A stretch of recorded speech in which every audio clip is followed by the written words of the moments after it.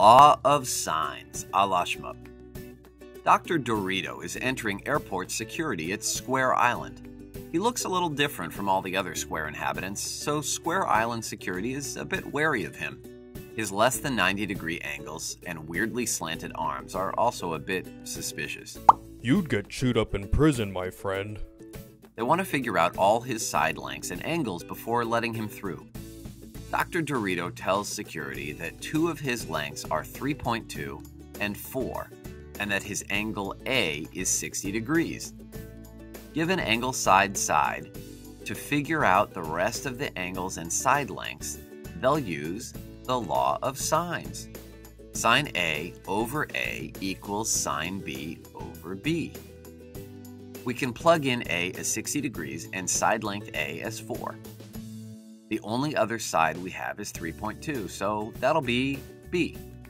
We have sine of 60 degrees over 4 equals sine of the angle at point B over 3.2, the side length of B.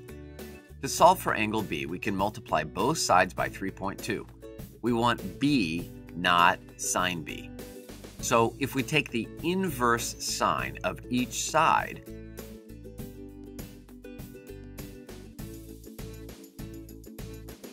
we see that B is around 43.9 degrees. Wonderful.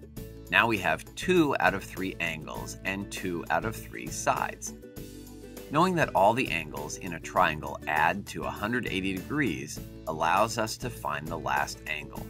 Substitute in the angles we know. A is 60 degrees and B as 43.9 degrees. To solve for C, we can subtract 60 and 43.9 from both sides to get C equals 180 degrees minus 60 degrees minus 43.9 degrees to get that C equals 76.1 degrees. Okay, one side to go. We can use either the ratio between sine 60 degrees and 4 or sine 43.9 degrees and 3.2. Let's use the ratio between sine 60 degrees and 4. Substitute what we know. We're looking for the last side, C. To solve for side length c, we can rearrange the equation by cross multiplying. Sine 60 degrees times c equals 4 times sine 76.1 degrees. To isolate c, we can divide both sides by sine 60 degrees to get that c equals around 4.5. Okay, double check in time. Do we know all of Dr. Dorito's angles and all the sides? Yep, sure do.